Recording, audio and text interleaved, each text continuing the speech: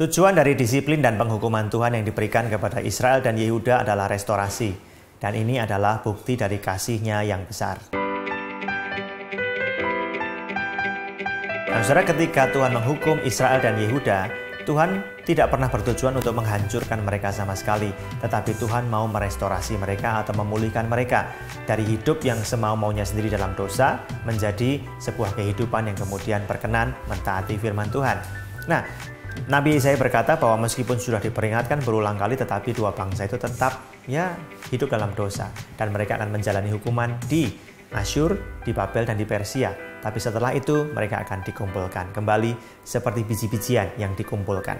Nah, dalam ayat 12 pasal 27 dikatakan maka pada waktu itu Tuhan akan mengirik mulai dari sungai Efrat sampai sungai Mesir dan kamu ini akan dikumpulkan satu demi satu hai orang Israel.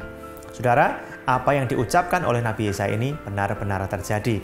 Ya, 70-an tahun setelah mereka menjalani penghukuman, dibuang di negeri orang, mereka dikumpulkan oleh Tuhan kembali di negeri itu. Nah, ini membuktikan bahwa Tuhan itu masih memberi mereka kesempatan. Tuhan masih panjang sabar kepada mereka dan Tuhan sangat mengasihi mereka. Ketika Tuhan memberikan kepada kita sebuah disiplin atau Tuhan memberikan kepada kita sebuah teguran, tujuan Tuhan adalah restorasi atau memulihkan hidup kita. Mari kita hargai panjang sabar Tuhan, kasihnya yang besar, dengan tanggapan yang benar, dengan perubahan hidup sesuai dengan kehendak Tuhan. Maka saudara sekalian, maka kita ambil 1-2 menit ke depan untuk kita merenung.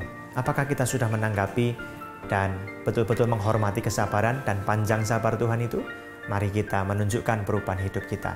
Cari Tuhan sungguh-sungguh, utamakan Tuhan, beribadah kepada Tuhan dengan sungguh-sungguh, baik di gereja maupun dengan kehidupan kita sehari-hari, sehingga kita benar-benar ya memanfaatkan dan menghargai kesabaran Tuhan itu untuk perubahan hidup kita yang memuliakan nama Tuhan. Tuhan Yesus memberkati.